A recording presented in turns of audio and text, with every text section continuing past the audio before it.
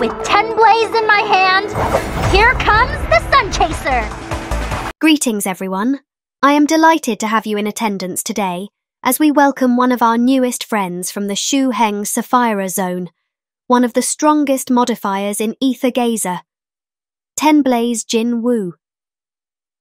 Jin Wu is a fire DPS unit. She belongs to the Tian Yuan faction of characters and uses Divine Grace as the resource to execute her skills. Her basic attack has five sequences and will grant her up to six Blaze Fire mark after the final sequence hits a target. A total of nine Blaze Fire marks can be accumulated. Her dodge skill will trigger a Crow's Scorch attack at the attacker while in Sunfade state, this effect can only be triggered once every 4 seconds. Skill 1 Demon Slayer delivers multiple blazing strikes against the enemy. While in possession of Blazefire marks, each successful hits from this attack will consume one Blazefire mark, and for each Blazefire marks consumed, Jin Wu will gain a stack of fire feathers. For each fire feather she possesses, her skill damage is increased by 2%. This can stack up to 12 times. In addition, for each blaze fire mark consumed, her divine grace is increased by 5. If skill 1 is cast while Jin Wu is in possession of 9 blaze fire marks, consume all marks to gain 9 fire feathers, 25 divine grace, and deal an additional instance of fire damage to the surrounding targets. Skill 2, Evil Crusher, summons a ring of flames to deal fire damage to all enemies within its area of effect. Jin Wu will obtain up to three blaze fire marks for successful hits with Evil Crusher. After Evil Crusher is cast, it will change into Demon Incinerator. Casting Demon Incinerator will consume three blaze fire mark to summon a larger flame ring around Jin Wu. This attack will not interrupt her current action and grant up to three Blazefire marks on successful hit. Skill 3, Sun Chaser, consume all Divine Grace and leap into the air to enter the Sunfade state. While in the Sunfade state, Jinwu gains super armor and dodging no longer consumes the dodge meter. Jinwu will obtain one stack of fire damage for every one Divine Grace she consumes to enter the Sunfade state. Each stack will increase her fire damage by 0.1% until she exits the Sunfade state. Sunfade state can be maintained by using her aerial attacks and dodging. While in Sunfade state, Skill 1 is changed into Crow's Scorch. When in possession of at least three blaze fire marks, consume said marks to fire a flaming slash at the target. If nine blaze fire marks are present, all marks are consumed to perform the attack and Jin Wu gains 80 Divine Grace. If less than 9 marks are present, gain 20 Divine Grace for every 3 marks consumed. While in Sunfade state, Skill 2 is change into Crow's Fire. Casting Crow's Fire consumes all Divine Grace to ignite the target in flames, imprisoning them for 2 seconds. In addition, the targets will have their physical wind and fire resistance lowered by 0.1% for every one divine grace consumed. Casting skill 3 while in Sunfade state will consume all Blazefire marks, increase skill damage by 3% for every mark consumed, and perform a dive bomb on the surrounding foes, ending the Sunfade state. Her ultimate, Ten Blaze Incandescent, unleashes the power of the sun to deal AoE fire damage to the surrounding foes, and grants a set amount of divine grace for every blazefire mark she possessed. In addition, when Jin Wu or her allies cast her ultimate, she gains 20% of her ultimate charge. The ultimate cannot be cast while in Sunfade state. If Lingguang is in the party, their ultimate skill chain Vermilion Sunrise will instantly grant Jin Wu the max amount of divine grace she can possess. The team gains the Scorching Sun buff. In addition, Jin Wu's fire damage is increased by 15%. Jin Wu has two possible playstyles. One is when she is earthbound, and the other is while she is airborne in Sunfade state.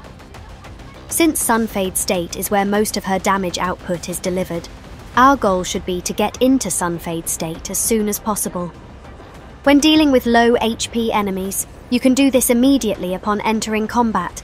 However, against high health targets, elites, and bosses, we want to enter Sunfade State after activating the buffs provided by her Blazefire marks, Fire Feathers, and Divine Grace consumption. The game plan for high health targets and bosses are as follow. At the start of battle, your goal is to gain 9 Blazefire marks. We can achieve this fairly quickly by activating Skill 2, followed by its enhanced form.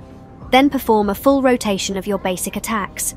Once you have acquired the 9 marks, you'll want to cast Skill 1 to convert those 9 Blazefire marks into 9 Fire Feather stacks.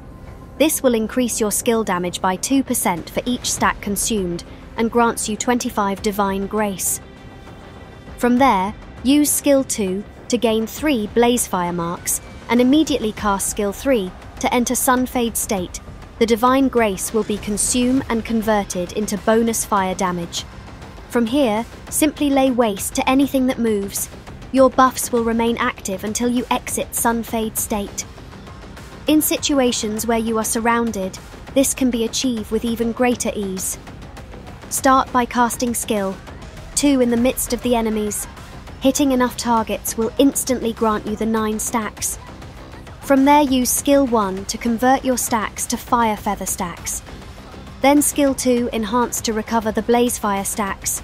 Go into sun fade state and go ham. The more enemies are surrounding you the better.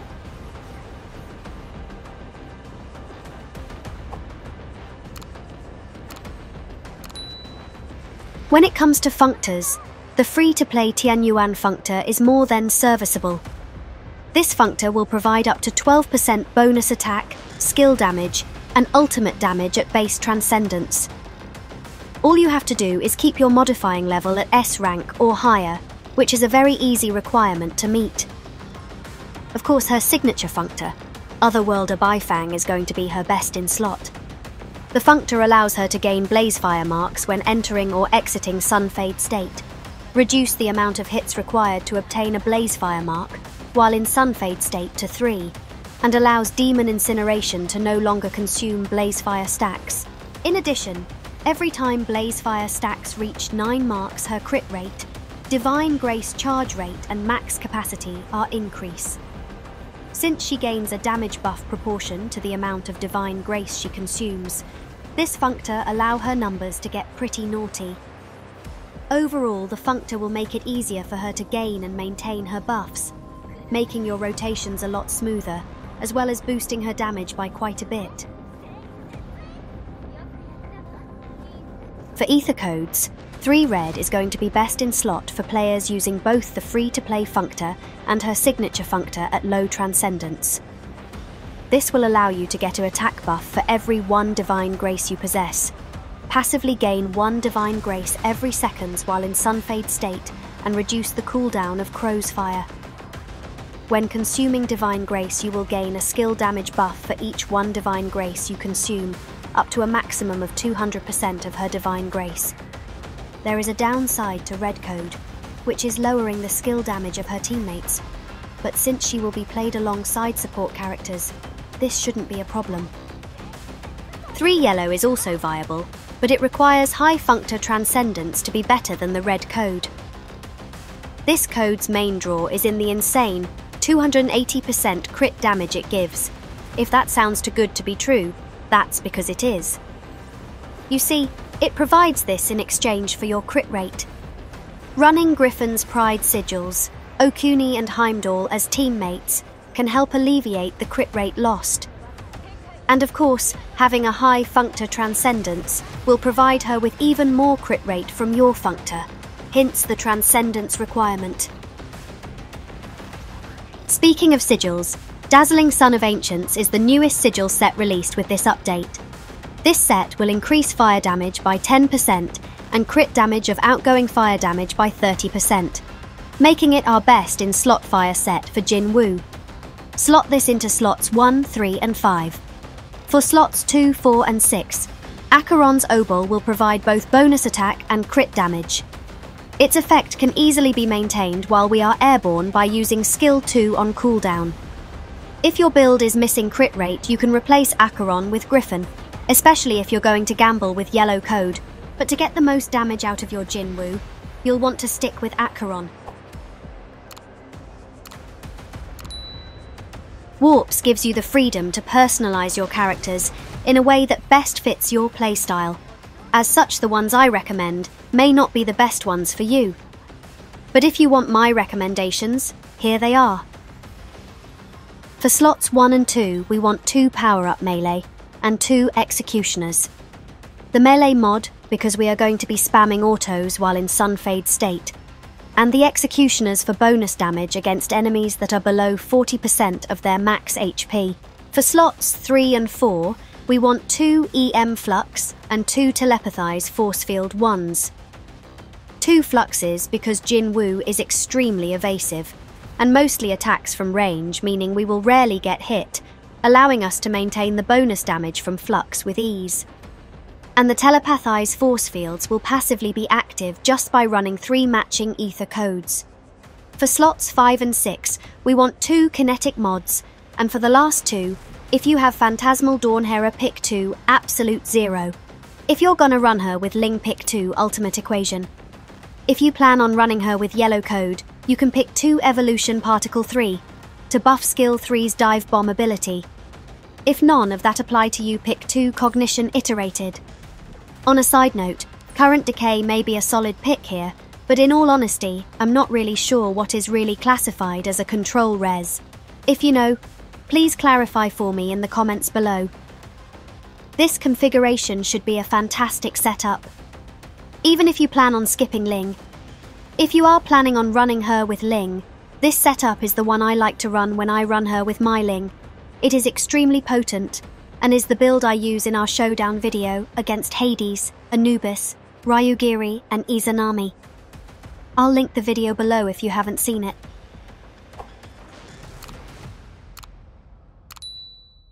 When it comes to team comps, Jinwu, Lingguang, and Gengchen is going to be one of her best premium team comps Naturally, Gengchen's spot can be filled by Hera. But since this team is already so strong, Hera might be more useful elsewhere. The sigils and codes set up for support Lingguang should be on screen now. You can copy that for your Lingguang if you plan on pulling for her. Keeping up with the triple S rank comps, Flame Tier and Kagutsuchi have an extremely potent skill chain, making them ideal teammates for a mono pyro team. Since Tear is delayed, Kagutsuchi plus Nuada will also make for good Monopyro teammates. And lastly, Okuni and Heimdall are valuable teammates for Jin, especially if you plan on running her with yellow codes, since they can both provide her with more crit rate in addition to their damage buffs. Set Heimdall's codes to yellow and Okuni to red. In later updates, the 50% reduction effect on the crit rate buff she shares with her teammates will be removed thanks to her Synchron upgrade, making this combo even more potent. In closing, Jin Wu is a superb character. Even after almost a year since her debut, her place in the meta has yet to dwindle. If you have been waiting for the right time to get into Aethergazer, there is no better time than the present. Tell me, what better way is there to welcome a new admin than with a free gift from the sun.